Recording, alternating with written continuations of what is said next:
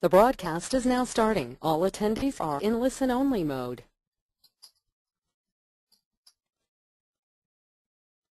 Good afternoon, everyone.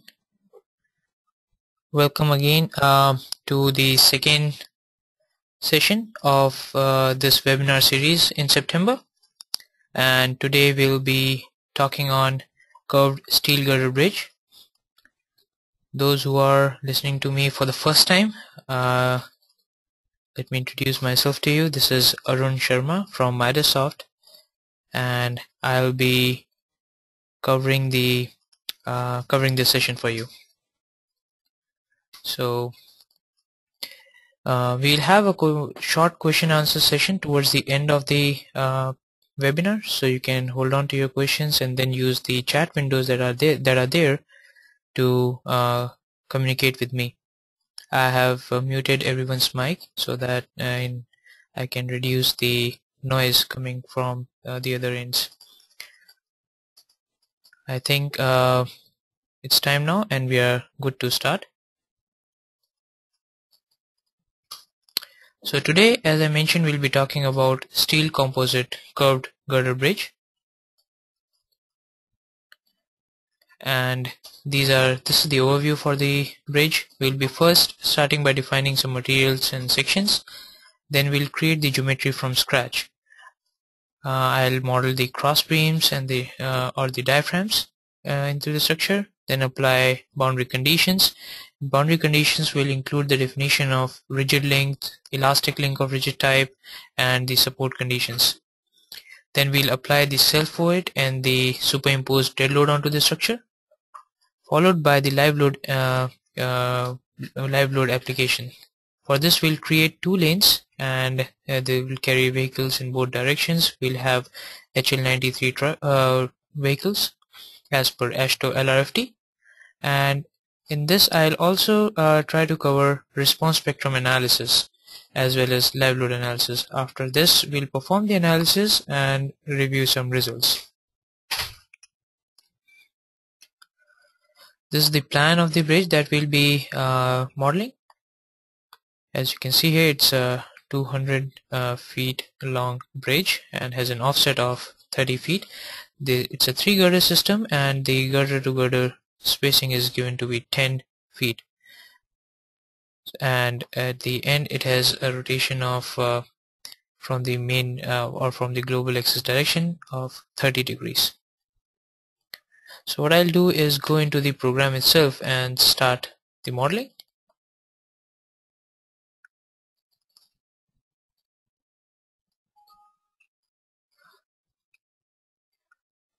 So let me start with a uh, blank sheet here. I'll go to the works tab as a thumb rule so that I can see what all things have been applied to the model so far. I'll right click go into properties and click on materials to define the material properties. I can click add and then select the relevant steel material I want to use the standard being ASTM and the material be A70950W click okay and then so and so forth I can go and define materials. But to save time what I'll do today is bring in the material properties from uh, a similar project where I have the materials already defined.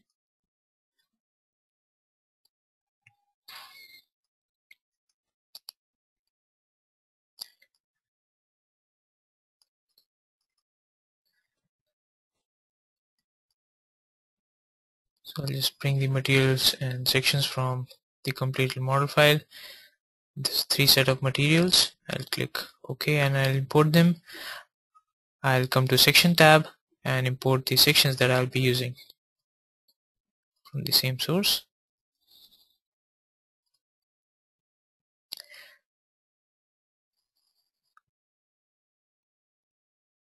Or no I don't want to import these. Let me open a different file.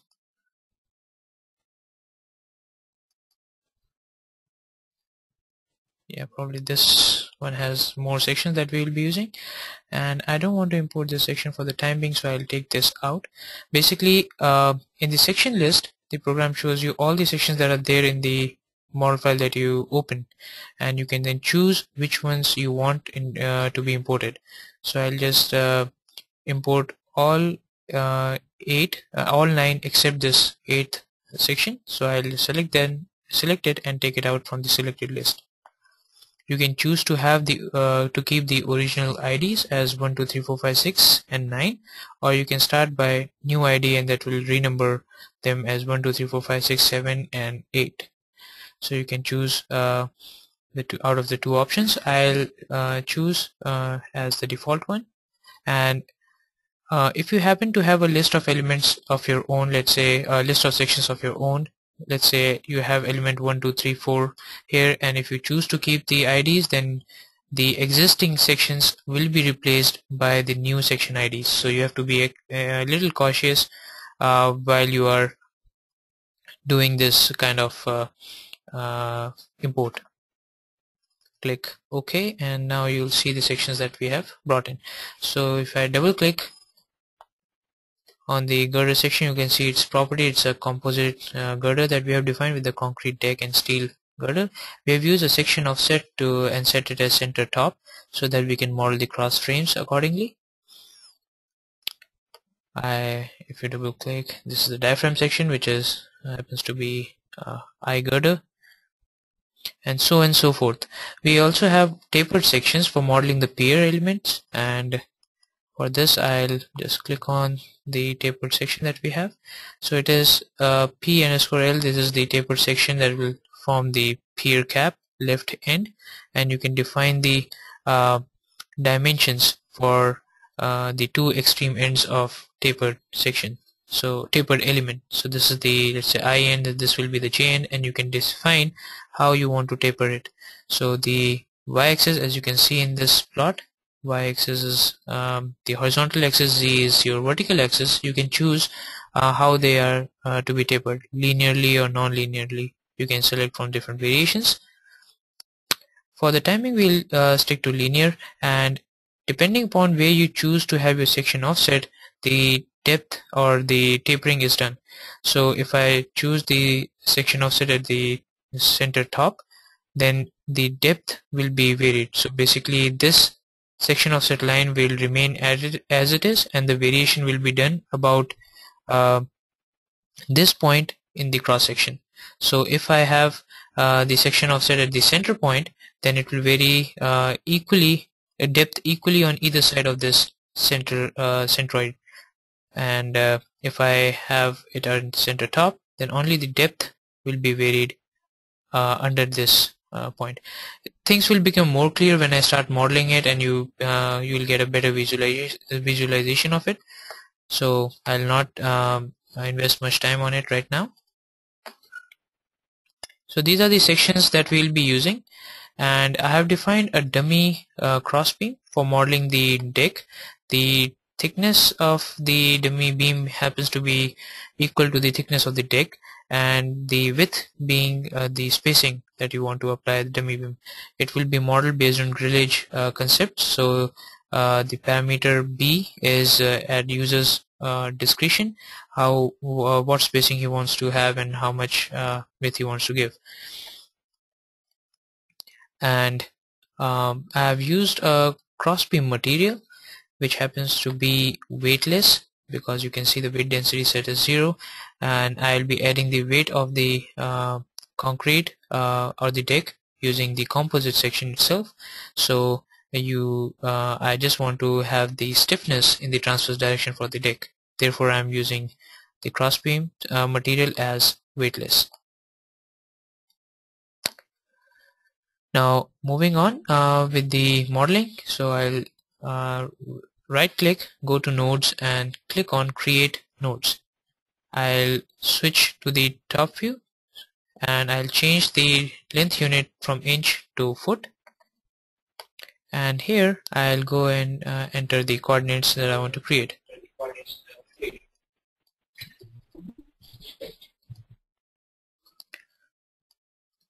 So I'll enter here um, repeat or copy it uh, once and create it at 200 feet along global x-axis the moment I hit apply and use the zoom fit button you'll see two nodes on your screen. I'll uh, create another node by ch and change the number of times to 0 because I don't want to copy it. I'll create the node at 100 comma 30 feet and then click apply. So you can see three nodes are created in the plan. Now I'll select all the three nodes that are created by clicking select all and right click go to nodes and translate them.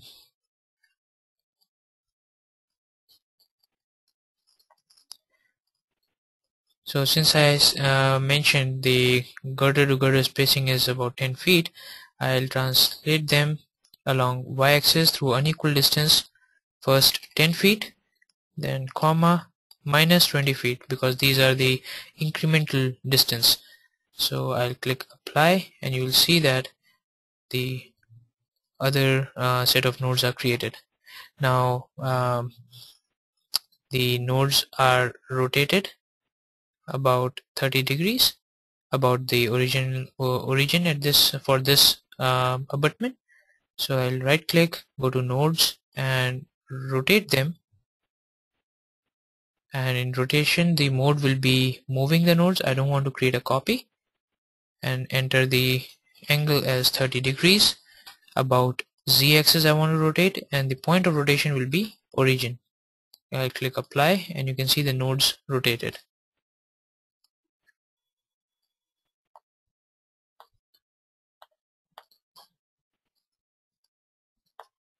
Then I'll select the other set of nodes and enter the angle of rotation as minus 30 degrees and the point of rotation will be the centroid of uh, center point of the other abutment.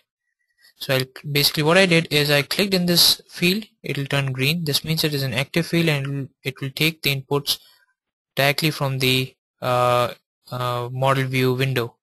This is the model view window that you are looking at.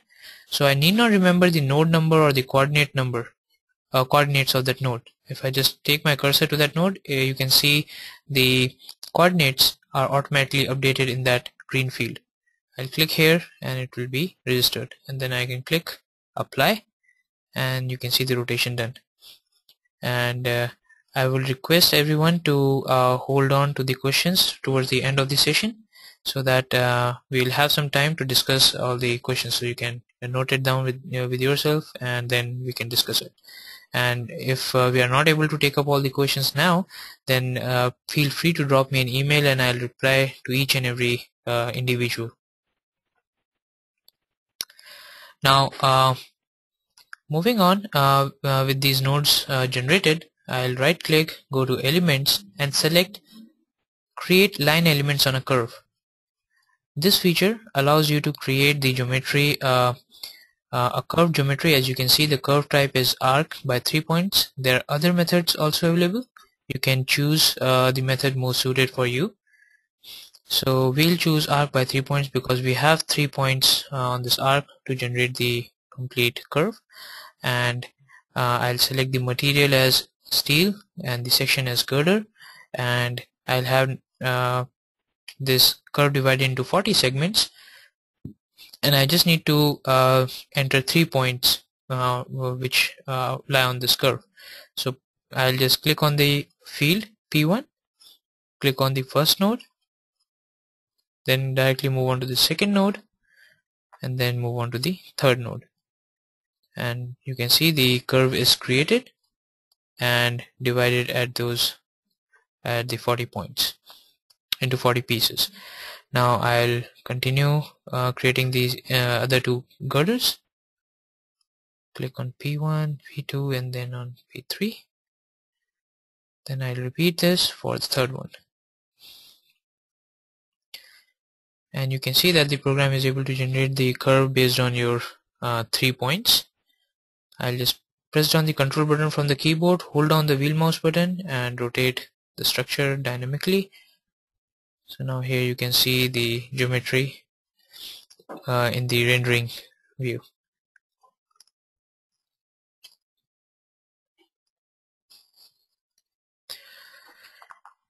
Now having done this uh, I'll switch back to the top view and activate the hidden view uh, or uh, deactivate the hidden view so that I can see the wireframe geometry of the structure. And now I'll create the diaphragms onto this uh, girders. So right click go to create create elements and here I'll select create uh, general beam. Material being steel the section being diaphragm and I'll click on nodal connectivity and just click on the first node and go all the way across it. And click there. The program will create two elements and divide them at the nodes. So this was the first abutment. Then I'll come to the uh, pier and if I just place my cur cursor I can see the cursor location in the status bar at the bottom of the screen. So you can see the coordinate as 100 comma 10 20 comma 10, uh, 0 this means this is center point. I'll create another diaphragm here and the last one at the other end. So once this diaphragm is created I'll now create I'll change the section to bracing and model the uh, cross frame uh, bottom, uh, top chord which happens to be at every fourth interval. So I'll just quickly create them I'll leave three nodes and go to the fourth one and create it.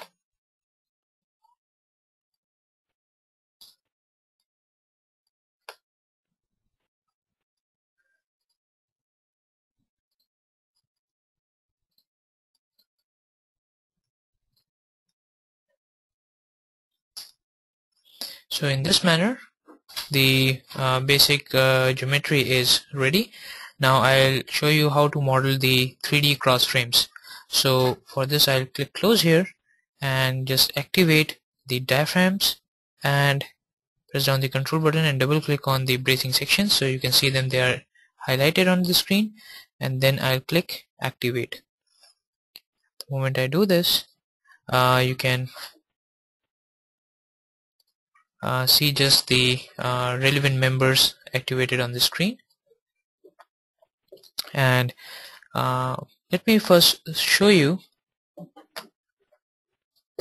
the geometry of these diaphragms. So this is the diaphragm uh, as you can see from on the screen. This is the top chord that we have already modeled. Then we have to model a bottom chord and get the uh, truss members in. So what I'll do is translate these top nodes by the depth equal to the uh, web height and create nodes at the bottom and then connect the bottom chord and then draw the truss members. So I'll switch back to the model itself and first select the diaphragm members along with their nodes. Right click go to nodes translate the nodes through equal distance mode should be copy not move because we are just want to copy the nodes. And the distance should be uh, 76.8 inches so I'll change the units from foot to inch. And the distance I'll enter as 0 comma 0 comma 0 minus 76.8 and then click apply. Then I'll select the remaining bracing members along with their nodes. And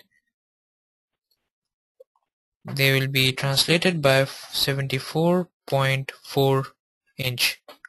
And then click apply. Now if I uh, rotate the structure dynamically you can see the nodes that are created right underneath it. So what I'll do is go through the definition of one diaphragm and one cross frame and uh, rest will be done in the same manner. So I'll right click go to elements create element. I'll select steel material. Section being bracing. The bottom chord for the diaphragm is made of bracing member. Click on nodal connectivity and then just click on the bottom chord nodes to create the bottom chord and now I'll create the truss member. So I'll change the element type to truss section and material properties remaining same. And I'll click on the node connectivity. Now I need to connect uh, this node to the center of this element or the midpoint of the element. Now if you see at the corner of this screen on my left hand corner uh, sorry right hand corner you will see uh, a number 2 written there. This means uh, the program will automatically snap a node at the midpoint or divide one element into two pieces. If you want to have uh, the element divided into three pieces you can have this number as 3 4 5 so and so forth. So I'll click on the nodal connectivity click on this member then move uh, my cursor to somewhere in the midpoint. The program will automatically snap a node at this location and create the element and divide the other element. So let me zoom in at this location so that you can see more clearly now I'll continue to create the member. The same manner I'll create. So this is how one diaphragm looks like. Now I'll create a cross frame. So I'll change the material uh, element type to general beam and then click on nodal connectivity and then create the bottom chord first. Change the element type to truss and this time since it's a cross frame I don't want the truss members to be intersect and have a node in between because uh, truss members cannot support uh, uh, bending moments or bending out of uh, out of plane bending. So if we have a node at the intersection of uh, truss members uh, then it will result in singular errors. So but still I want to have them in the crisp in the cross shape so I'll check off this option called intersect at nodes and elements and then click in nodal connectivity. And then I'll just click on the top node then on the other end click and click. So now you can see the element is not divided at this location. Same way I'll click on the two ends and create a cross frame in no time. Now as you can see uh, the uh, these two nodes are in the same plane and happen to lie on the same web uh, but they are not connected to each other. So for this we'll use uh, an uh, boundary condition called rigid link. So what I'll do is right click go on to properties and select rigid link. And as we know rigid link follows um, master slave node behavior. So the node that will govern the other nodes behavior should be made as master since uh, our diaphragm uh, the bottom nodes will have the boundary condition assigned to it and we want uh, it to govern the uh, behavior so the bottom node will become the ma master node. So I'll click in the master node uh, number and then uh, let me check off toggle off the single select tool so I'll click in the master node number it will turn green. Then I'll go to the node and then click on that node the moment I do that the master node number will be uh, read by the program. Then I'll go on to single select tool and select the node that has to become its slave. And then I can specify what type of link I want to have. It has to be a rigid body behavior. Then I'll click apply and the program will generate this rigid link. So let me quickly repeat this step so that you understand how to create um, a rigid link. So I'll select the master uh, the slave node by a single select tool then click in the field for master node number and then click on the uh, master node. So it will read the number as 124 and then click apply. I'll repeat I'll use single select I'll select the slave node. I'll click on the master node number select the mass click on the master node click apply. So in this way you can generate uh, master slave node uh, sorry rigid link between master slave nodes the master node is shown by uh, number 11111 this means it's a rigid body. All degrees of freedom are, are uh, of the slave node is restrained to the master. And uh, on the end you'll see this uh, degrees of freedom written is happen to be is called the master node.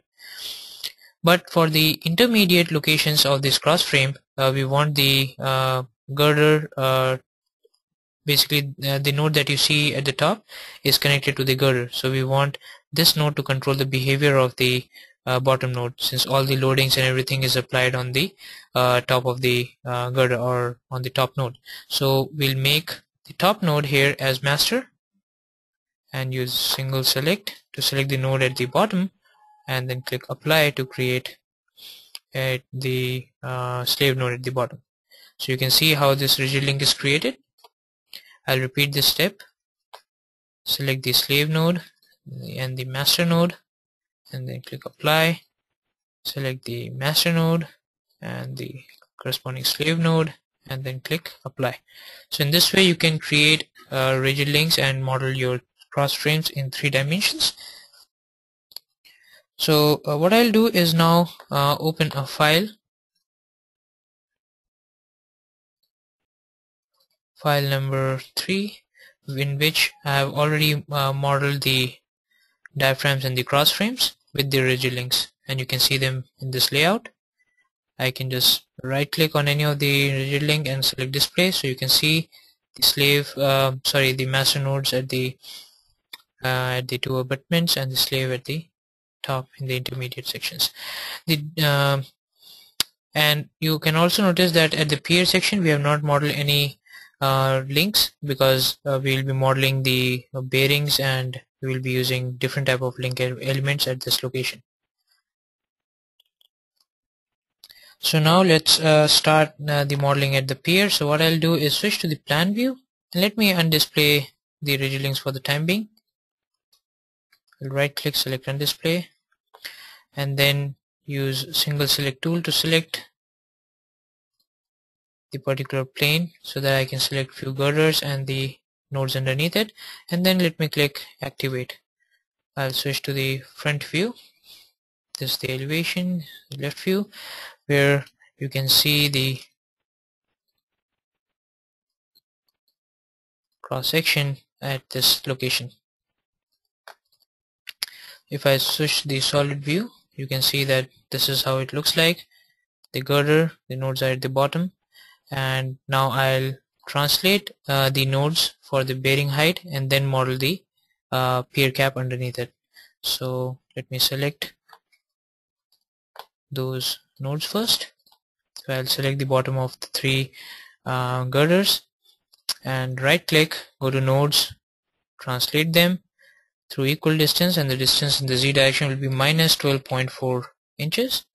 And click apply. So you can see the nodes created here. Now uh, let me first show you the the pier cap.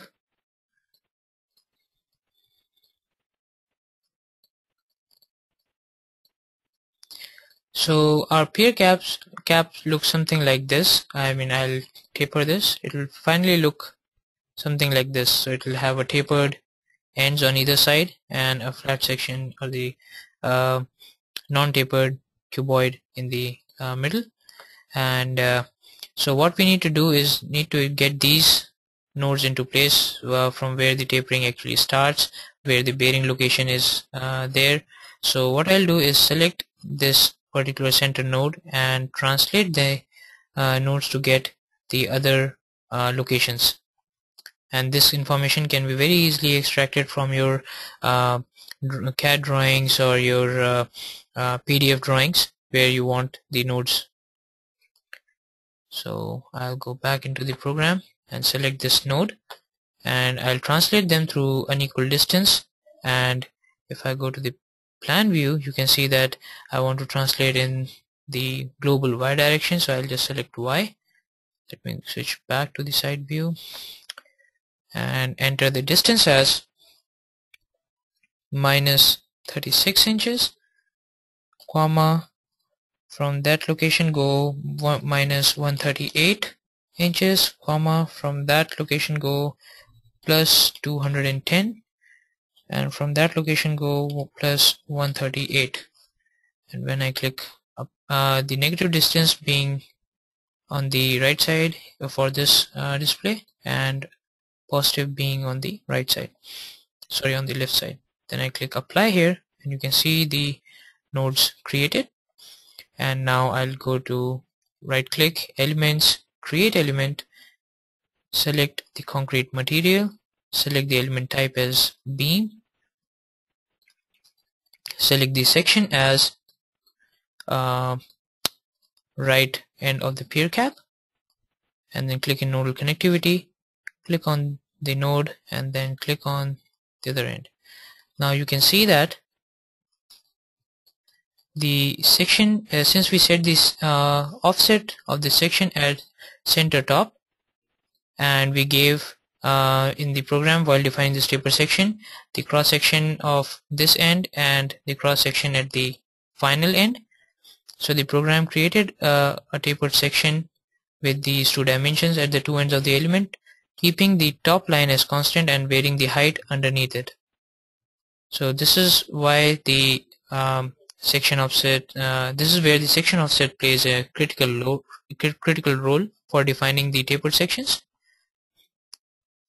So now I'll change the section to pier cap center and then click on the other set of nodes to create the center pier cap and then we have the section on the left end and it will have the taper in the reverse direction. So uh, now uh, we'll create uh, we'll use a feature called taper section group that will smoothen this curve or the transition by or interpolating the height uh, of uh, the section at the intermediate length because the uh, we know that we can see here this should be the final the depth at the final depth at the uh, let's say the jth end of the member and uh, the ith end of the member. And when we have when we divide this into number of pieces the program will automatically interpolate the height of the member in between to make a smooth curve. So for doing that I'll just right click go to the properties and select tapered section group. I'll enter the name as pier cap uh, let's say R for the right side. I'll use single select tool and select the two members on the right side. I can set the variation as linear or polynomial the z-axis being the local uh, z-axis for that element which is the vertical axis. And I can choose it to be a polynomial curve whereas the y-axis which is happens to be the horizontal axis for this cross section as linear and then I'll click add and you can see the program has interpolated the depth of the section and made it a uniform tapered same thing I'll do at the other end. I'll change the name after selecting the members that I want to taper as pier cap underscore left end and I'll choose the uh, from jth end I want to have this polynomial curve and then click apply let me undo this and show you what uh, will happen if I choose the symmetric plane at I end. Let me select the previous members. Pier cap at left end. If I select in uh, this manner and click add, it will have the taper, uh, the uh, the polynomial curve generated in the other direction. As you can see, this is concave. This will be convex. So I'll select this and modify to back to J and click modify and it will modify.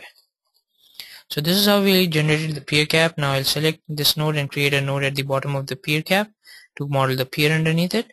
So right click nodes translate and I'll copy the node uh, through z-axis or let's say just equal distance. The uh, depth of the pier cap is 6 feet or 72 inches. So minus 72 I'll enter here and click apply. So I'll get a node at the bottom of the pier uh, sorry pier cap. I'll select this node right click go to elements and extrude elements. The type being beam material being concrete and the section being pier and I'll give the intervals as minus 62.4 feet 4 inches and repeat it 5 times. Click apply. So if I zoom out you will see the pier created underneath and this is the pier cap. That is modeled now uh, if I switch to the wireframe geometry you can see that these nodes are not connected with each other. So I'll use uh, properties and go to elastic link and select elastic link or rigid type. Now a common question um, at this point is why what's the difference between rigid link and elastic link of rigid type? Basically the members uh, whenever you want to create with the infinite stiffness uh, both behave in the same direction. But for rigid links you need to have a master and slave node behavior and uh, they cannot be applied in a sequence. Let's say if I want to have three links in this plane it can it, it will be difficult for uh, me to define as master slave master slave master slave because if a node is uh, if if one node is master it cannot be slave to another node. So there are some uh, technical uh, uh, issues while defining them in uh, series. The second thing is whatever boundary condition we assign at the master node it is replicated or copied at the slave node loca location. So you should be little cautious while defining the rigid links at the boundary at the boundary location like at the end diaphragms. If you want uh, to uh, simulate uh, not replicate this uh, boundary uh, condition onto the top of uh, the girder and if you want uh, the to have the real effect of the barrier uh, sorry the uh, bearing uh, location or the support and the height of the section then you should use elastic link of rigid type for those locations. One more thing that that elastic link plays a good role in is you can control the stiffness in different directions. So if you want to model uh, let's say an expansion bearing you can control the stiffness along those axes and then model it but today we have fixed bearings so I'll not be uh, dwelling much into uh, generating the bearings there. So I'll just select elastic link of rigid type click on two uh, nodes field and then just click on the nodes between which I want to create it. And if uh, this is my node uh, this is my direction of creation of uh, the elastic link then this is node 1 and this will be node 2 so the direction becomes x-axis and you can see uh, if this is x the the y will be this one through right uh, from right hand thumb rule and z will be into the plane of paper or this screen. Uh, you can select to copy the elastic link along y-axis and to at 120 inches because the distance between these points is 120 inches or 10 feet. So I'll just click on two nodes and click between the uh, these two nodes and the links will be created. Basically this is the location where you have uh, the uh, bearings. So if it was expansion bearing I would have selected general type of elastic link and control the stiffness along these local x y and z axes for displacement and rotation. But uh, since it's a uh, we have a fixed condition at the pier and we have expansion bearings at the uh, two extremes. Uh, that means at the two abutment I'll have fixed bearing at this location. I'll use the same elastic link of rigid type for connecting the bottom of the uh, girder to the top of the girder. Click on this two nodes. When I do that you can see the nodes are uh, the elastic links are created and copied at the same time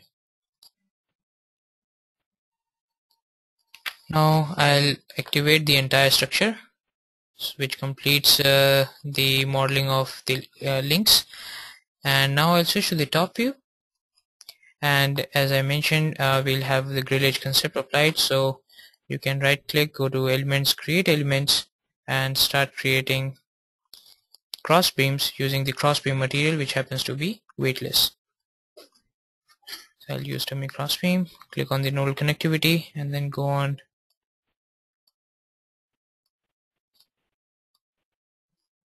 creating the cross beams like this. So what I'll do is open the next file uh, that I have here which will have the definition completed. File number 5 so now here you can see the cross beams have been created and have, you can see also the support conditions have been defined. So what I'll do is quickly delete them and show it to you.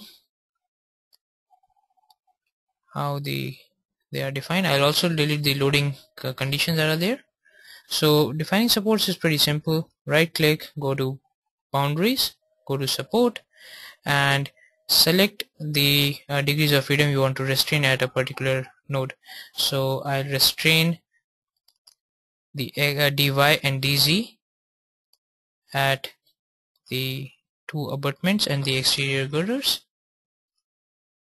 And these uh, dy and dz are in global direction. If you want to uh, apply these restraints along the uh, curve then you can easily rotate the nodes and change the nodal axis and apply them along that direction as well. If you want to do that I'll show it to you in a little while.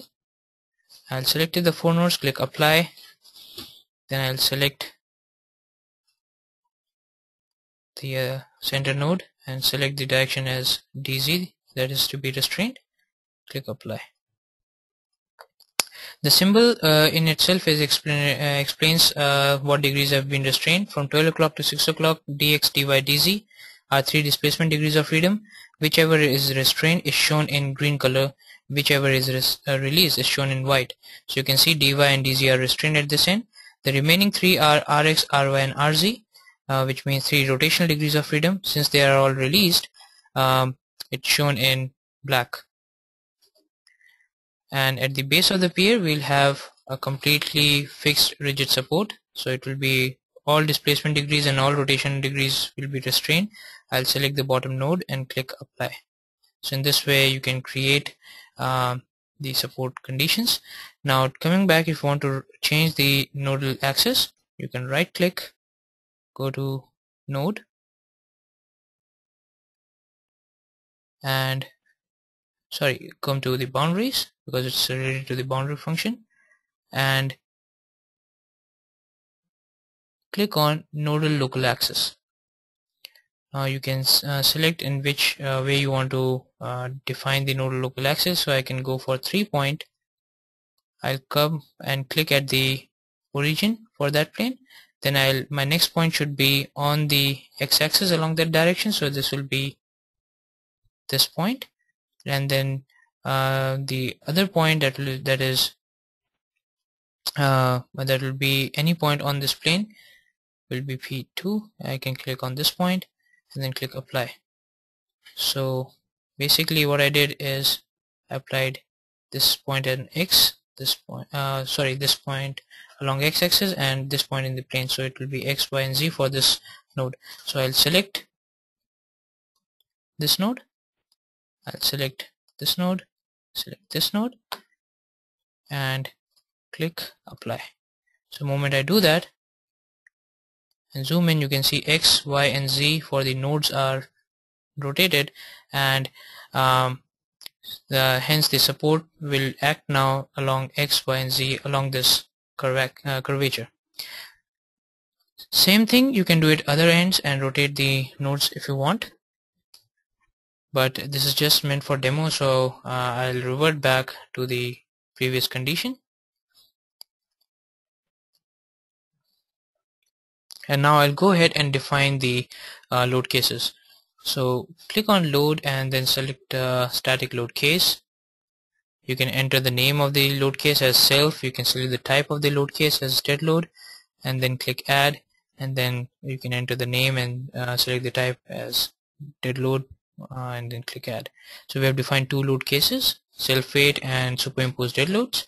And now I'll add values to them. So right click go to loads and select self weight um, here I'll add the multiplication factor as minus 1 along z-axis. They click add and then uh, and then I'll right click go to element and select sorry go to loads and select element beam load and select superimposed load here.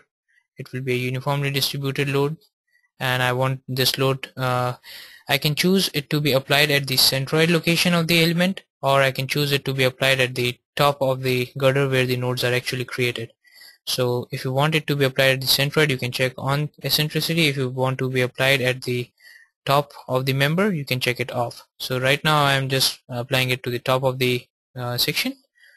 So I'll check off this eccentricity. And uh, let me just quickly uh, click on this toggle button and select the elements on which I want to apply. So this button toggles between the uh, current uh, dialog box and the works tree. I'll come to section and double click on the girder members so they are selected. I'll click on this toggle button again and check off eccentricity enter the values which is minus 0.5 kips per fit um, and then click apply. And you can see the load applied onto the structure. So once we have defined these two loadings uh, I'll move on and um, apply the live load and before doing that I need to define two structure groups. So what I'll go uh, do is go to the group tab right click select new with three dots. This allows me to define multiple structure groups at the same time. I'll click uh, on this and enter the name as cross beams so I'll create one structure group that will consist of all the cross beam members and other as girders that will comprise of all the uh, girder members. And then click close. Now I'll come to the works tab and then double click on the girder section. So all my girder members are selected. I'll come to the structure group click on girders drag it over the screen and drop it. The moment I do that you can see all the girder members are defined into this structure group. If I double click you will see them uh, activated on the screen. Now you might be thinking that number of nodes is equal to 0. Does that mean uh, there are no nodes in this group? And do we need to define them individually into this group? Uh, the answer is no. Whenever an element is included in a group, the corresponding nodes are automatically brought in with that structure group. So um, all the nodes, if you just uh, right click and select active, you will see all the nodes along with their girders activated onto the screen so this means the nodes are tied with the elements in this group let me activate the entire structure and now I'll come back to the works tab and select all the diaphragm members and the bracing sorry uh, let me unselect this. I just need to select all the cross beams and the uh, diaphragms. So what I'll do is double click on the diaphragms and then click the press down the control button and select all the dummy beams. And um, and the, and now I want to select the bracings. So uh, the best way of making the selection uh, will be selection by plane. If you click on this icon and select XY plane and click on any point in that plane the entire plane will be selected. This will include all the nodes and on the all the elements uh, that I want to select. And then I click close go back to groups tab click on cross beams drag it over the screen and drop it. So this will have all the elements and the nodes that are included in this uh, crossbeam group. now I'll move back to the works tab and then start defining the live load. So for this uh, there exists a lot of ways of reaching the live load. You can just right click go to loads and then go into the moving load uh, analysis data and then click on moving load code. And select AASHTO LRFD click OK. Or you can directly make use of these shortcuts that are given right in this uh, tabbed toolbar. So you can click on moving tab and then you will see all the options regarding the AASHTO LRFD live loads shown here. So what I'll do is select the first option which is define traffic lanes. I'll click add to define the traffic lane. Uh, but let me just activate the uh, this girder plane. So what I'll do is select by plane and this XY plane and then select this plane and activate it.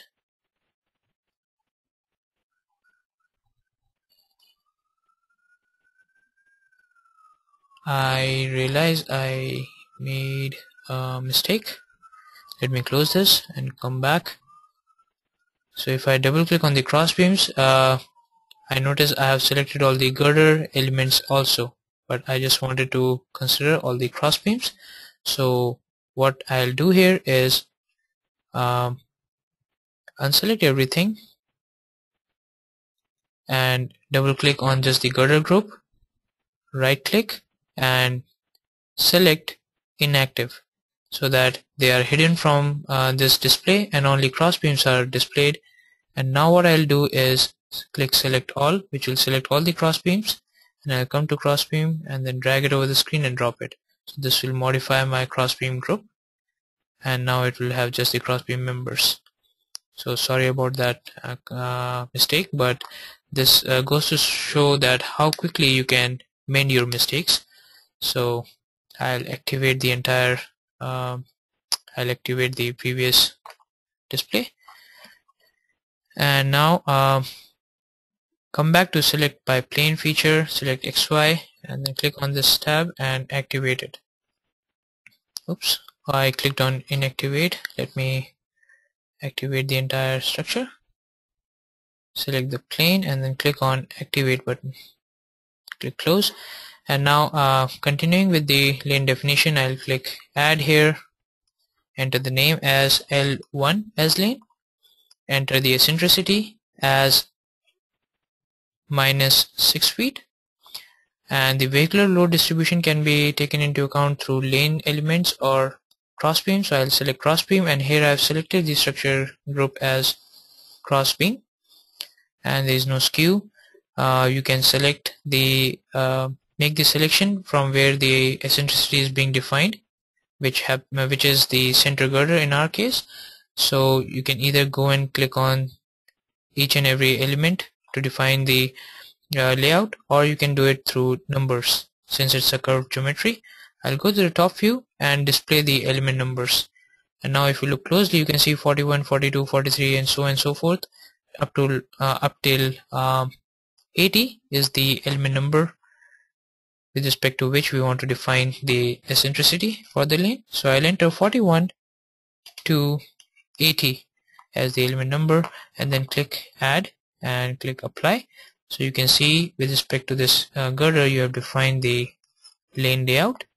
I'll change the name from L1 to L2 change the eccentricity from minus 6 to plus 6 everything else remains same. I'll just uh, delete this uh, uh table which I created and then click OK. Sorry click add and then click OK. So you'll see the second lane also created.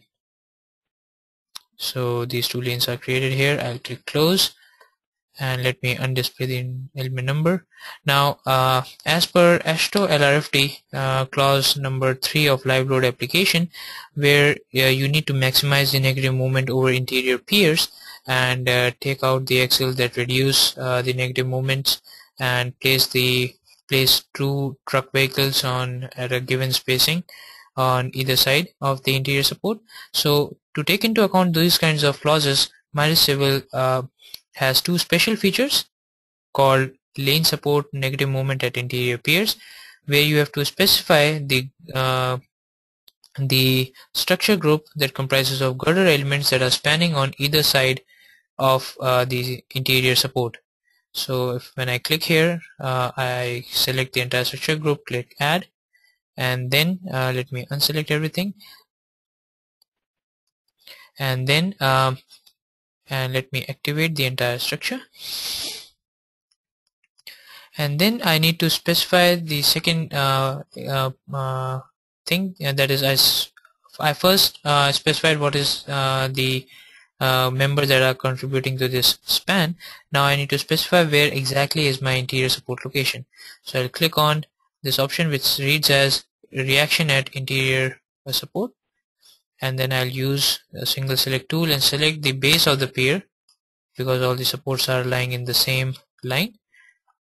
And then click apply. So now the program knows uh, in which plane the supports are. Then click close and the program will optimize the uh, placing of the vehicle in such a manner that it maximizes the negative moment over interior piers. Then I'll click on this green icon to create the vehicles. And I'll click add standard and here I'll enter AASHTO LRFD load as HL93 truck. The dynamic allowance factor as 33% and click apply. Then I'll change it from truck to tandem.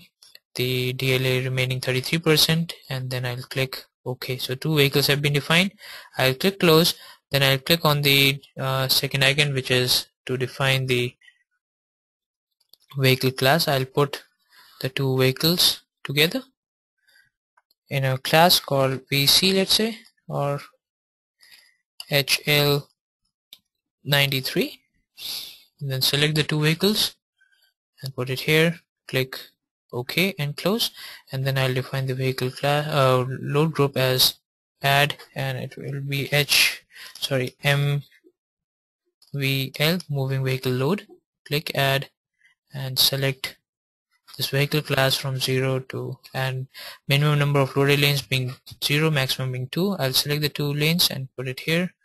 Click OK. Now what the program will do it will uh, create go through all permutation combinations and uh, find the maximum or the worst loading case for you. I'll click close here. And um, now move on to assign the moving load analysis control data I'll go with the default settings.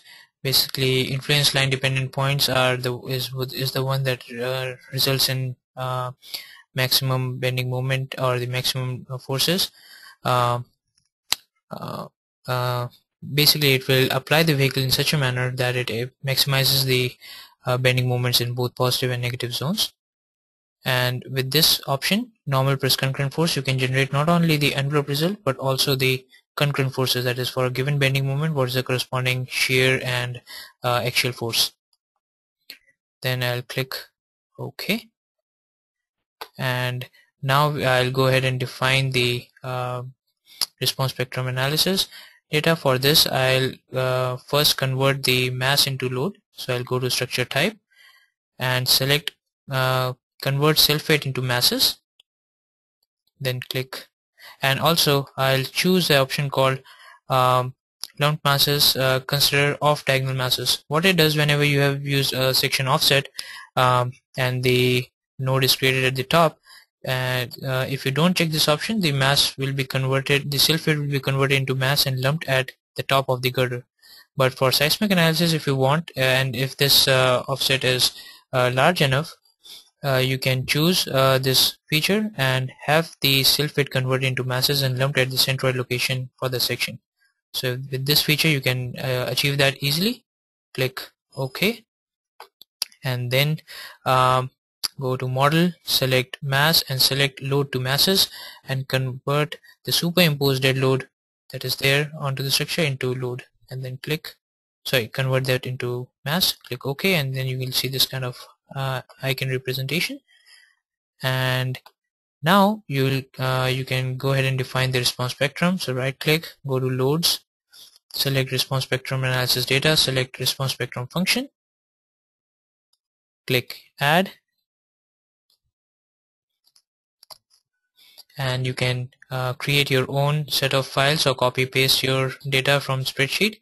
You can or you can just import a file with response spectrum data in it. Click open you will get this data brought in. I'll name this as RS as response spectrum. You can enter a description. It's uh, as per AASHTO L RFT you can uh, specify site and soil condition etc etc then click OK and close. Then I'll go back to loads response spectrum analysis data and I'll select response spectrum load cases and here you can enter the load case name as rs-x for x direction. In the xy plane excitation angle being 0 you can choose your modal combination to be based on SRSS, CQC, absolute or linear. You can also include the positive and negative signs. And for in order to get more details you can just hit F1 from your keyboard. And it will take you to the online help page and describe all these features in detail so I'll not dwell much into this since we are running out of time and I'll select the response spectrum that I have defined with a damping ratio of 0.05. If you want to add separate damping values at each and every individual node mode shape, you can use this feature to define that uh, damping method. You can click here and select what type of uh, damping you want to apply in different modes. But right now we'll not uh, uh go dwell much into this. And then click add. This is uh, created. I'll create another load case for y direction. That is global y. The excitation angle will be 90 and then click add. So we have defined two functions. Now we'll enter the eigenvalue analysis control. Click on this button. Select you can select different variations. So I will select Lanczos and enter the um, number of modes as let's say 10 to start with. Click OK and then click close so once you have done this you are ready to perform the analysis. I'll just click perform analysis. And or rather uh, in order to save a couple of seconds here I can open the file which has the analysis already done. In the meantime while the analysis is running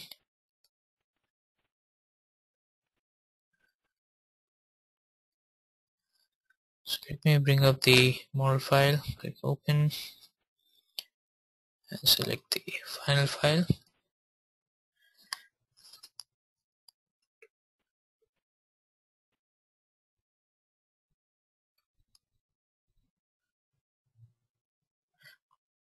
So now if I just this is the analyzed file.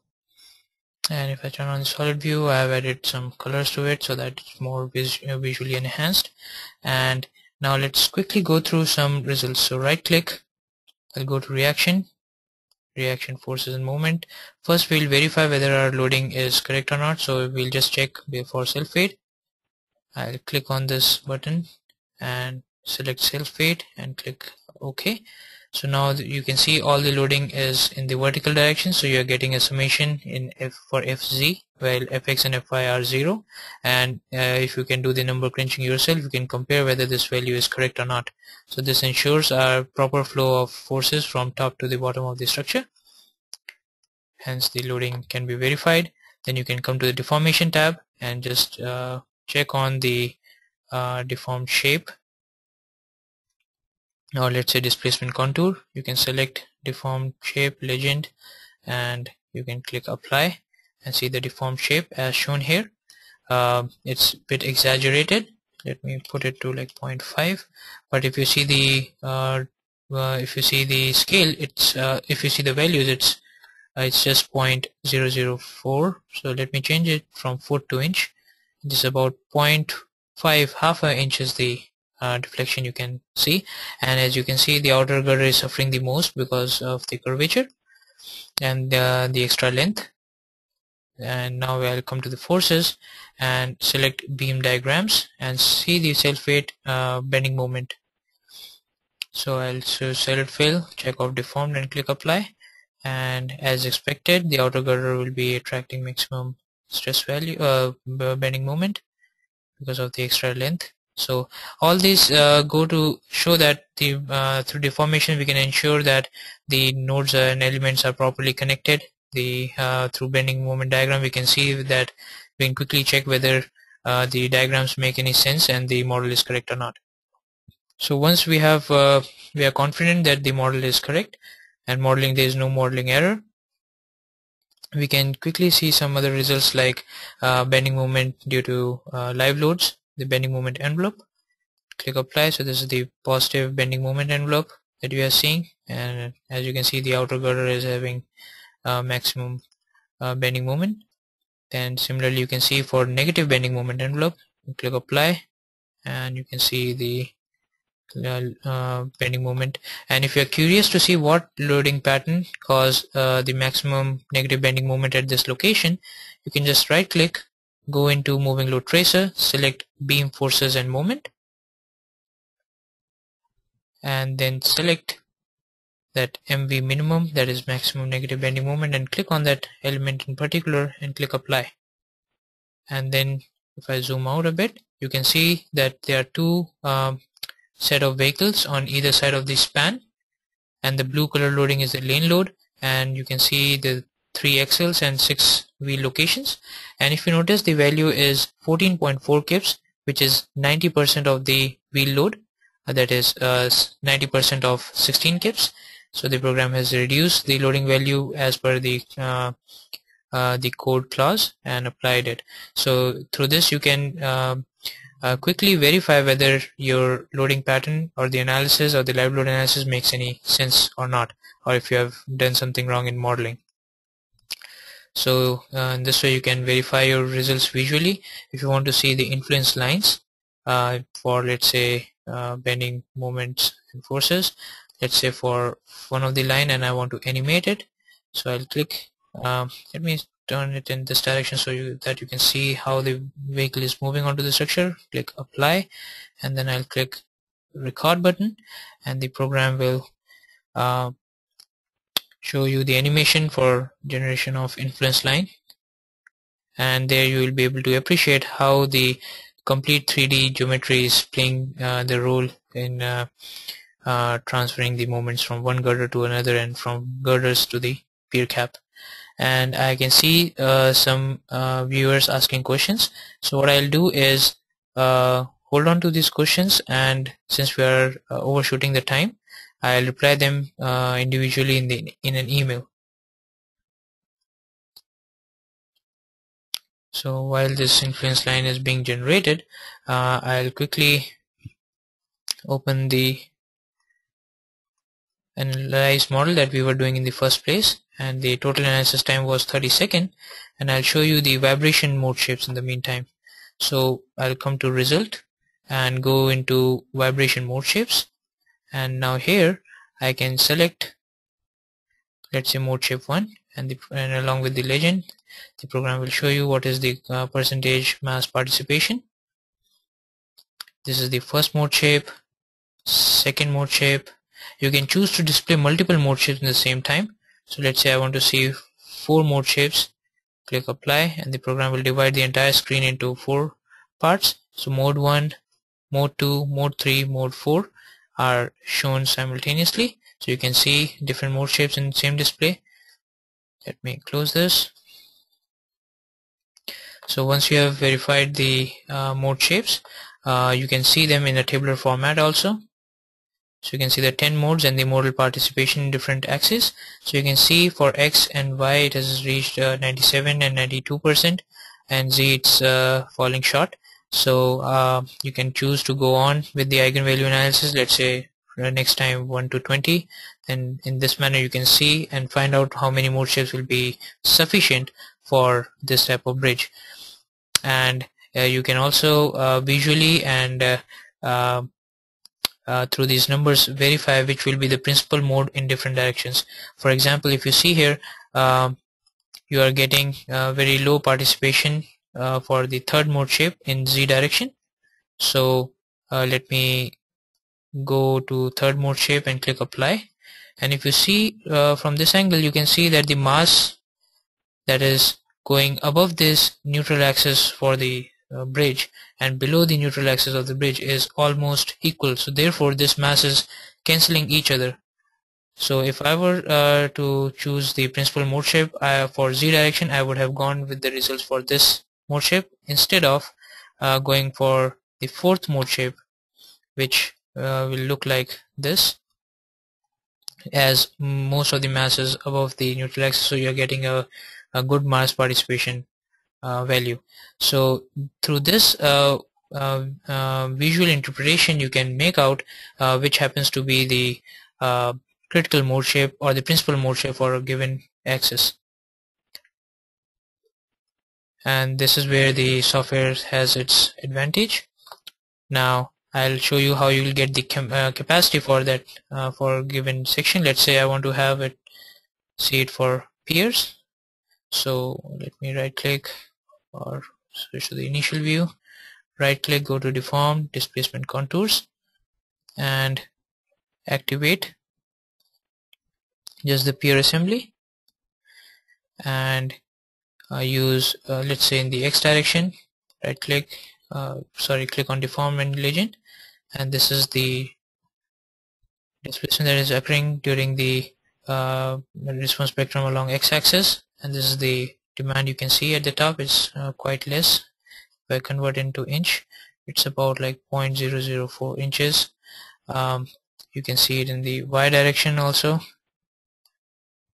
And this is the demand in the y direction. So in this way you can easily extract uh, the demand values from response spectrum. Let's see how much is the pier deforming and if you want to see the global picture you can activate the entire structure and see the global picture. Again it looks exaggerated so you can uh, reduce the scale to get a more realistic display. You can even animate these results.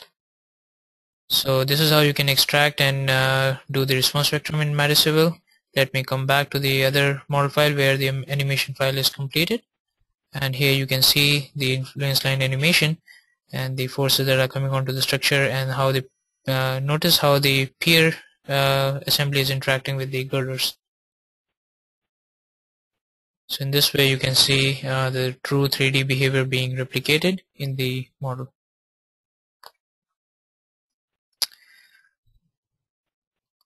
So this is all I wanted to uh, share with you today in this webinar and highlight uh, how the 3D uh, bridge geometry can be generated for curved steel structures and modeling the cross frames um, and uh, how live load is uh, applied onto the structure, how uh, geometry is generated by the use of different type of uh, boundary conditions uh, that includes rigid links, supports and elastic link of rigid type, how you can taper sections and model uh, pier caps and pier and how you can apply response spectrum in particular, eigenvalue analysis and how visual interpretation can play a critical role in assessing the uh, governing mode shifts in different directions and uh, how you can extract the capacity of the uh, structure and uh, how you can see the uh, verify your live load results in the software and uh, how you can uh, see whether the program has generated reliable results or not through moving load tracer. So this is uh, all I covered and uh, summarized in front of you. If due to the time crunch I'll not be able to take the questions right now so you I'll put up my contact details for you so you can reach me at my uh, contact through email or phone and I'll be more than happy to uh, take care of your questions. Once again uh, thanks a lot for attending this session. Hope you find it useful and I look forward to hearing from you for your feedbacks and comments as they are uh, very important to us